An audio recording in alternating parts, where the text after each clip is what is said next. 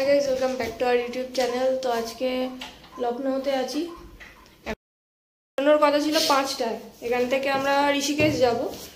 তো বৃষ্টি বৃষ্টি ওয়েদার ভালো নেই সেই জন্য ওদেরকে আমি ওদেরকে না একে আমি চারটে থেকে ডেকে যাচ্ছি। আমি পাঁচটার সময় মতো রেডি হয়ে গেছি। আমার পিঠে ব্যথা হচ্ছিল মারাত্মক রাত থেকে হ্যাঁ, ফেরার পরে পিঠে একটা ব্যথা হচ্ছে আমার। এখন এখন সাতটা বাজে। এখনও রেডি হচ্ছে। আমার দু মিনিটে রেডি হয়ে জুতো করলে আমার ব্যাস কমপ্লিট যাই হোক। তো মেকআপ করব না। তো উম, বেরিয়ে পড়েছি এখন। আমার অবস্থা খুবই খারাপ। আর তোমাদের হোটেলটা দেখাচ্ছি। হোটেল। বাইরে থেকে এত সুন্দর। আর এই এত সুন্দর হোটেলের ভিতরে ওই অবস্থা।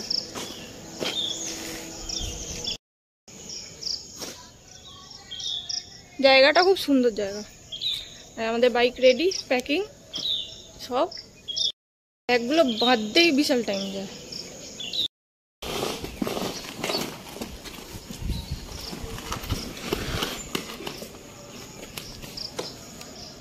হ্যালো আজের যুদ্ধ শুরু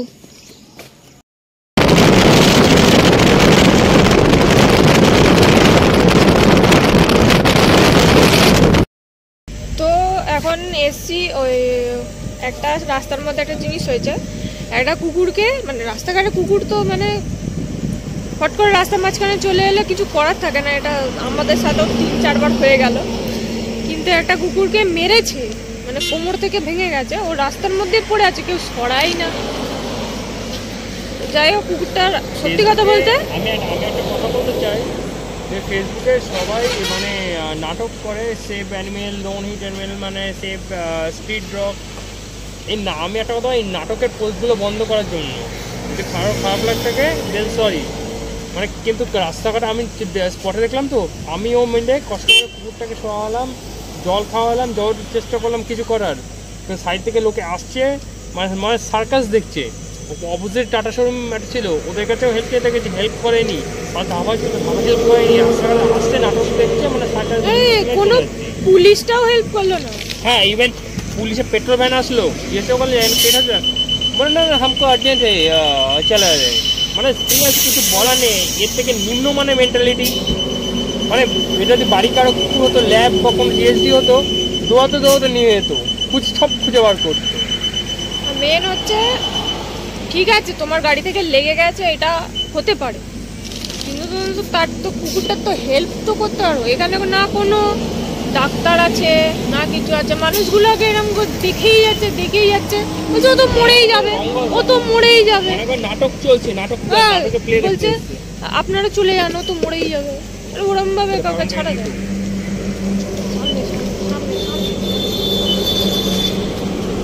ওটাই কথা। সত্যি কথা বলতে যেরকম মানুষের ডাক্তার মানে হসপিটাল ভর্তি ওরকম কুকুরের হসপিটালে একটু যদি হ্যাঁ, ভর্তি থাকতো পেট হসপিটাল বলতে গেলে নেই এত। কোথাওই খুবই কম আছে যে কোনো জায়গাতে যেরকম কলকাতাতে- মানুষের হসপিটাল থাকা দরকার সেরকম ওদেরও হসপিটাল বেশি থাকা আমাদের দরকার। কলকাতাতে তাও পেট একটা দুটো আছে সেরকম বেশি আছে ডাক্তার অ্যাভেলেবেল এখানেও আছে কিন্তু আমরা হাতের কাছে পেয়ে গেলে তো আমরা এখানে কোনো হসপিটালই নেই। আমরা কখন থেকে জিজ্ঞাসা করে যাচ্ছি কোথায় হসপিটাল কোথায় হসপিটাল এবার ওর কোমরে এরমভাবে লেগেছে ওকে একটুখানি চাকানোও যাচ্ছে না। এরকম অবস্থা। সত্যি কথা বলতে তখন সবাই এসে হাসাহাসি করছে যেন মেলা দেখছে কি জানি কি দেখছে দেখে দেখে চলে ওখানে একটা লোকাল ছেলেকে বলে এসছি যে ওকে কদিন দেখতে। মাথায় লাগেনি তো আশা করি হয়তো ঠিক হয়ে যাবে। কারণ একটা পা ভেঙেছে আর কোমর ভেঙে গেছে। তো সবাই অর্ডার করল মেঘা স্যান্ডউইচ অর্ডার করেছিল, কিন্তু দুর্ভাগ্যজনক ও এখন অর্ডার হবে না মানে স্যান্ডউইচ হবে না। তো এখান থেকে বলল আলু আর কী বলে, পেঁয়াজ মিক্স করে একটা পাওয়াটা বানিয়ে দেবে, ওটা নাকি ভালো খেতে। ওটা খাব, আর তারকে আমি চা অর্ডার করেছি কারণ শরীরটা আমার অনেক খেয়ে ছেড়ে যাচ্ছে তো খেয়ে দিয়ে তাতে বেরিয়ে যাবে। আমাদের লাঞ্চ তাই তো? পরোটা লঙ্কা আচার ভুতনি খাব। এই হাত দিয়ে আসো নোংরা মোংরা তো খেয়ে দিয়ে তাতেই বাড়ি চা বই চা।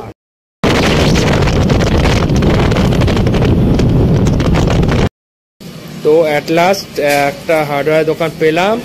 অ্যাটলাস্ট মানে কি বলব? কি বলে ম্যাগনিফাইং গ্লাস দিয়ে খুঁজতে খুঁজতে প্লা- পেলাম। ওই সাদা প্লাস্টিক ওই যে নিচে দেখতে পাচ্ছ, এই ওটা, সাদা প্লাস্টিক হয় ওটা নেব না তো বৃষ্টি বলে লাগেজ ভিজে পর লাট হয়ে যাবে। আর ওরও তেলের জার না ছিল ও তেলের জার পেয়ে গেল। আর ও এখন সর্ষের তেল কিনবে।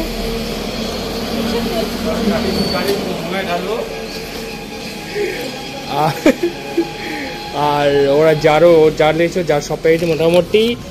মোটামুটি ভালো সব কিছুতে এখন টেনশন ফ্রি হয়ে যাবে। বৃষ্টি পড়লে পড়ুক না তো তাও চলে যাব। রেইনকোট আছে আমাদের লাগেজ লাগেজ আছে ব্যাস চলো। ফোনের কভারটা তো এখানে পাবো না দেখি কোনো ফোনের দোকান দেখে দাঁড়িয়ে যাব ফোনের কভার কিনে যাব আর দুটো কিন দুটো কিনবো। তো এইসব কিনে আর দামটা কমও বলেছে তিরিশ টাকা। দামটা কমও বলেছে। ওইটা মিটার মিটারই কমে। তো নিয়ে ফটাফট বেরোই কেন? অনেক রাস্তা এই একটা প্লাস্টিক আর কালোটা নেব না নীল নীল যে ওই যে তুহিন যেরকম প্লাস্টিক এনেছে ওই রকম নেব। এইটা। এটাই ভালো এক জায়গায় থাকবে। আর ওই রকম পাতলা নিন ওরা উড়তে থাকে উড়তেই থাকে। আমাদের পকোড়া চলে এসে পকোড়া, গরম গরম চা আর মিষ্টি ওয়েদার এ বলছিল, খাবে না। তো ভাগ বসানো শুরু করে দিয়েছে। কি বলছে না, খাবে না? তো ভাগ বসেছে কেন? এখানে আইটেম দেখছি, এখানে নর্মাল তাওয়া রুটি আট টাকা। আট টাকা। কিন্তু তন্দুরি রুটি পাঁচ টাকা। মানে আমার ডিফারেন্সটা বুঝলাম না কিন্তু দাদা ডিফারেন্সটা বুঝে বলে দিল दादा तंदूरी रोटी और तवा रोटी में डिफरेंस क्या है प्राइस का क्यों तवा रोटी तवा रोटी में समय ज्यादा लगता है वो डबल और डबल सेकना पड़ता है हाँ, समझ आ और आ, तंदूरी चिपक के वो निकल आएगा তো আহ, আমরা তন্দুরি রুটি তন্দুরি রুটি করা তন্দুরি রুটি তোমার কটা দুটো দুটো হয়ে যাবে আর তারপর পাবে না কিন্তু হ্যাঁ আমরা কিন্তু এখানে আসতে হবে ওইটার থেকে আমার ইংলিশ জানা নেই मशरूम मसाला अच्छा होगा मस्त मसाला का टेस्ट कैसा है ओए मशरूम का कोई आइटम नहीं कुंडी लगे सही मिक्स वेज होगा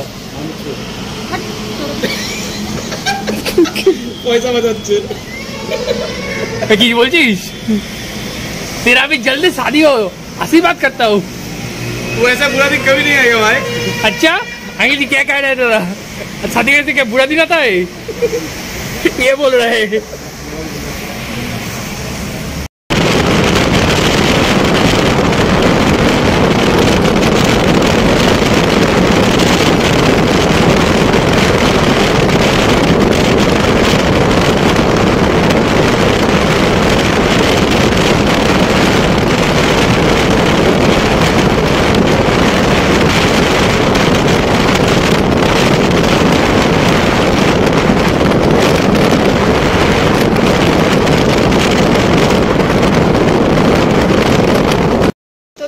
আমরা ওই জঘন্য থেকে জঘন্যতম রাস্তাটা দিয়ে এলাম। আর এত বৃষ্টি হচ্ছে মানে আমরা ওই খেলাম দুপুরে আলুর পরোটা মানে খেয়ে বেরিয়েছি, তখন থেকে যে স্টার্ট হয়েছে বৃষ্টি হওয়া।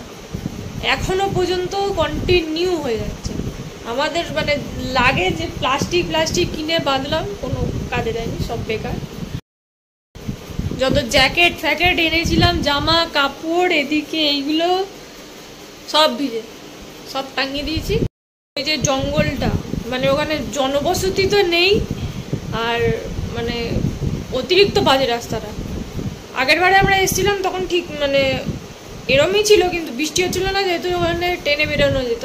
কিন্তু এখন তো যা বৃষ্টি হচ্ছে হচ্ছে কুড়ি মিনিটের রাস্তা, আমরা দু ঘণ্টা ধরে এলাম ডিক ডিক ডিক ডিক করতে করতে। আর আস্তে আস্তে মানে প্রত্যেক মোড়ে একটা করে দেখি অ্যাক্সিডেন্ট হচ্ছে প্রত্যেকটা মোড়ে। যেখানে আমরা চা খাচ্ছিলাম, ওখান থেকে কিনে এনেছিলাম ডাল মাখনি আর রুটি। তো ওইটাই খাব, খেয়ে তো ঘুম দেবো। কারণ আমার যা ওজন ছিল তার হাফ কেজি আমি কমে কমে যাচ্ছে, আমি বুঝতে পারছি।